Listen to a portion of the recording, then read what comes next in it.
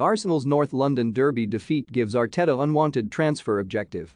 The manner in which Arsenal self-destructed in the North London derby on Thursday was remarkable, and it certainly would have provided Mikel Arteta with some unwanted home truths about his squad. Despite the Spaniard preaching about the importance of staying calm and keeping cool heads, the Gunners were rash from the get-go, and their poor composure cost them. A brace from Harry Kane and a second-half strike from Heung-min Son ensured that Spurs gave themselves a fighting chance of playing Champions League football next season. Rob Holding, one of the more experienced players in the Arsenal dressing room, exemplified what went wrong in the space of seven minutes. After picking up a booking for dragging Son to the floor, he then elbowed the Korean shortly after in a defining moment in the game. Heading into the summer, Arteta's priority is signing a striker.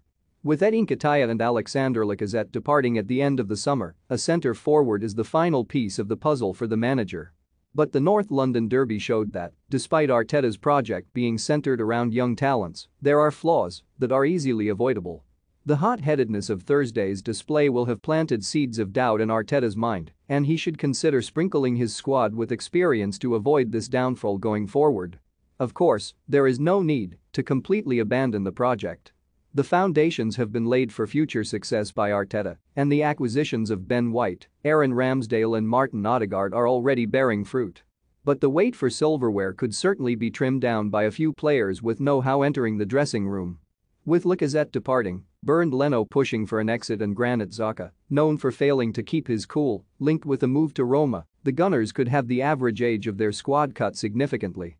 A vocal leader spearheading the attack is not unheard of, but Arteta may not want to sacrifice a long-term goal-scoring solution, such as Gabriel Jesus and Darwin Nunez, simply because his more defensive stars can make rash decisions.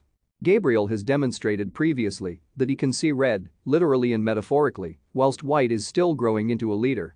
Kieran Tierney, currently injured, is certainly an experienced figure in defense when he is available, and the knee surgery should solve some of his fitness woes, and therefore it is potentially a calming presence in the center of the park that Arteta should consider. Arsenal attempted to sign a central midfielder in January but were unable to reach a deal with Juventus for Arthur Melo, though a move for another player of his quality wouldn't go amiss, especially if Xhaka is sold. It would be ridiculous to expect Arteta to greenlight a move for a player in their 30s that is past their best, but acquiring a player over the age of 24 is no sin and something that the manager must consider that could accelerate the progress of his side.